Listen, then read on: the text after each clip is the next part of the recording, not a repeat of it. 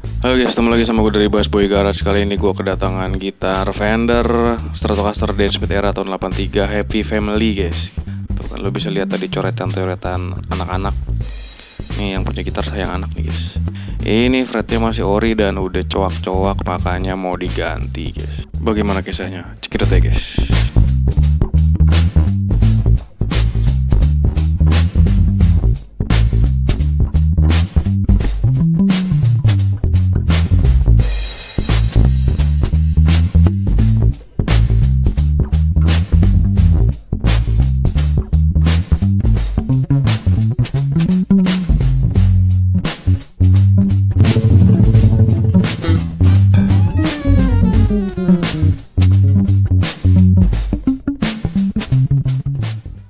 Tapi sebelumnya gue cek dulu truss rodnya nih nggak mau gue puter guys. Sepertinya ada yang aneh guys.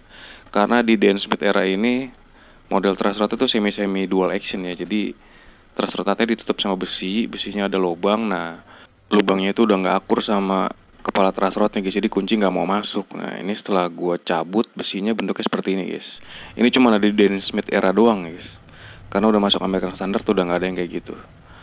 Setelah gua cabut gua setting gue lihat kondisi sebelumnya baru langsung gua cabut fretnya ini seperti biasa gua sobek dulu karena coatingnya itu nutupin fret kalau nggak disobek nanti fretnya dicabut aja coatingnya bisa ikutan ngangkat-ngangkat guys.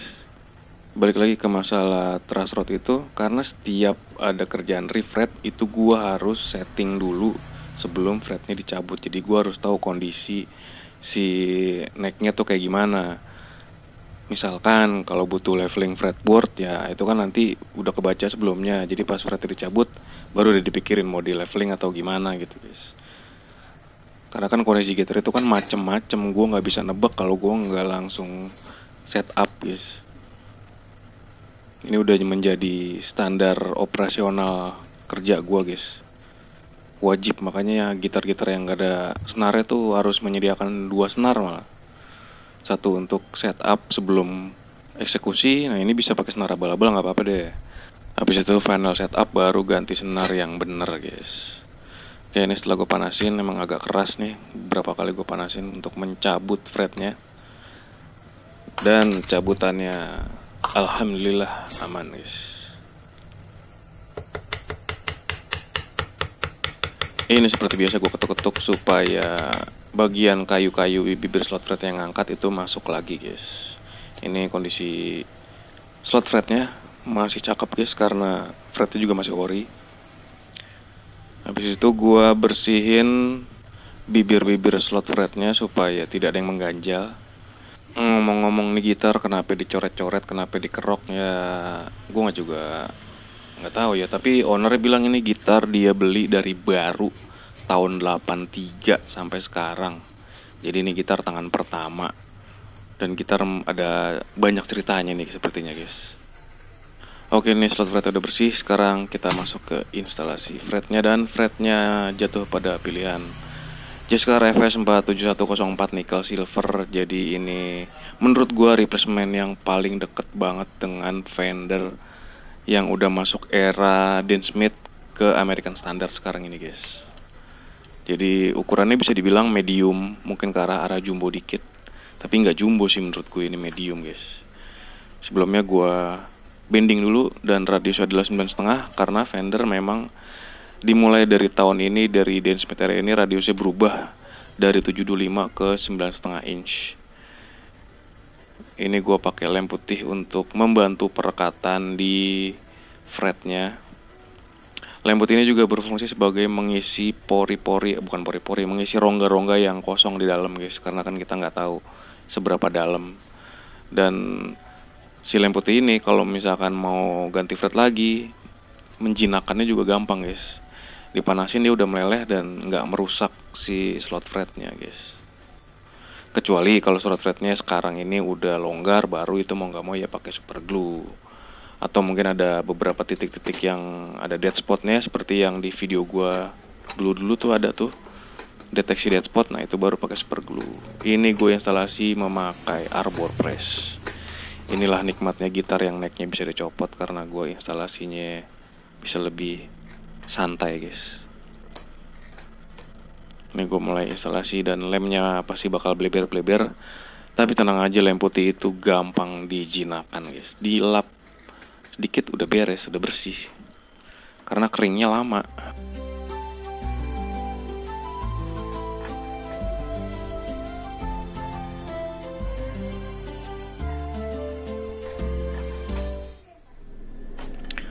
Setelah instalasi dan dipotong ujung-ujungnya yang berlebih fretnya di press lagi guys. Gue press lagi karena pada saat memotong ujung-ujung fret itu gue yakin ada yang goyang-goyang guys. Jadi untuk memastikan dan sebelum lemnya kering juga gue press lagi guys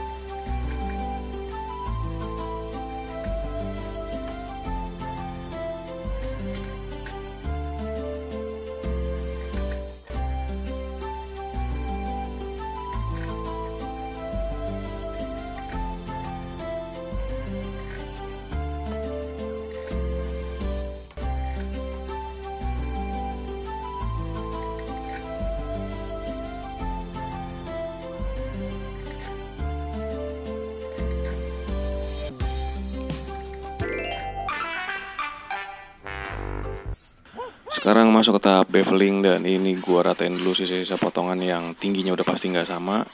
Sebelum gue beveling miring 35 derajat, gua ratain dulu guys. Seperti biasa di masking tape dulu sampai masking tape-nya itu sobek-sobek. Baru itu tandanya sudah harus lebih hati-hati guys.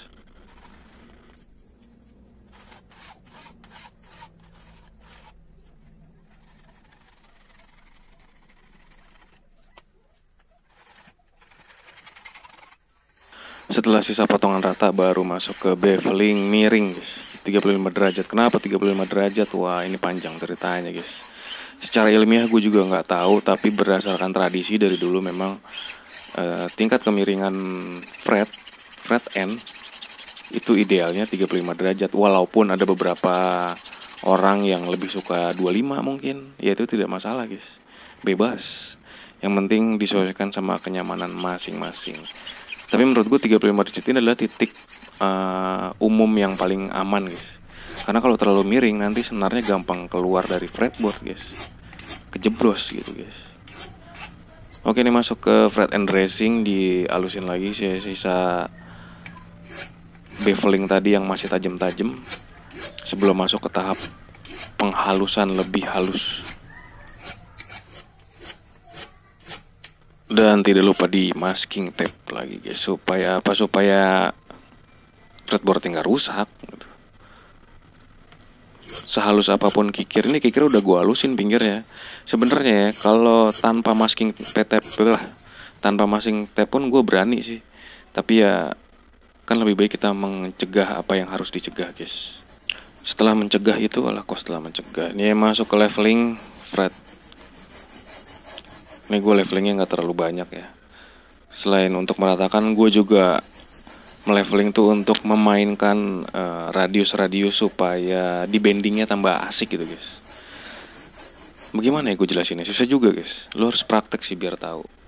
Jadi prinsipnya seperti kompon radius tapi tipis-tipis aja gitu. Nah di sini gue mainkan di tengah-tengah fretnya di bagian dot inlaynya. Sebagian fret ini sekitar dari fret ke 9 atau 10 sampai ke belakang gue mainin. Jadi semakin ke belakang itu sedikit lebih rata atau sedikit lebih besar nilai radiusnya. Ini kan setengah mungkin ke belakang tuh jadi 9,8 atau 10 inch gitu. Kurang lebih kayak gitu guys.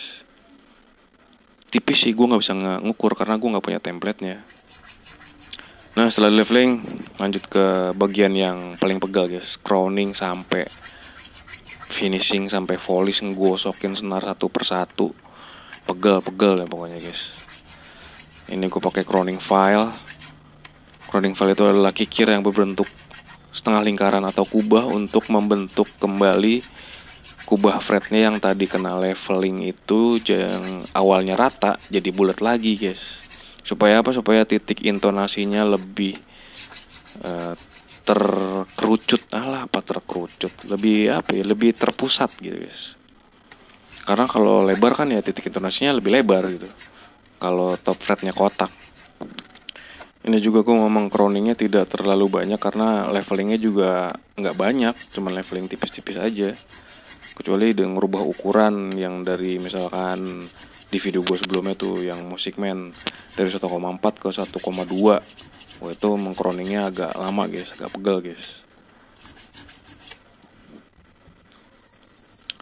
Setelah di crowning dihalusin lagi. Nah ini karena gitar tua dan maple fretboard ada coating Gua tidak memakai masking tape Karena apa? Karena dikhawatirkan ketika masking tape gue cabut Coatingnya ada yang ngikut guys, jadi copot Ya namanya juga gitar tua guys, harus ekstra hurt-hurt guys Hati-hati Ya memang agak sedikit lebih repot ya, tapi ya gue tidak mau mengambil resiko guys Proses ini berlangsung sampai polesan terakhir fretnya sampai mulus guys.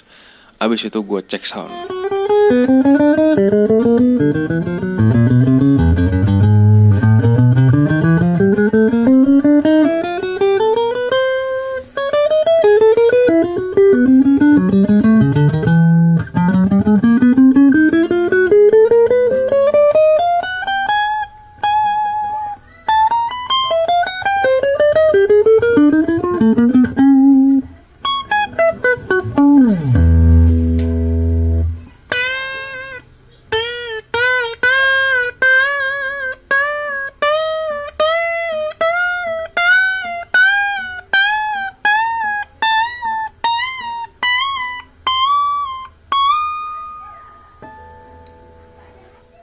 Oke ini akhirnya gitarnya udah jadi udah beres. Nah lu bisa lihat tuh bodinya banyak coret-coretan guys. Ini gua presentasikan dalam bentuk gambar tak bergerak atau foto guys. Supaya lu bisa pause dulu terus lu zoom mungkin gitu. Ya bebas lah pokoknya. Ya udah sampai di sini aja guys. Di plototin dulu sampai habis. Terima kasih sudah menonton. Sampai bertemu di vlog-vlog gua selanjutnya. Ciao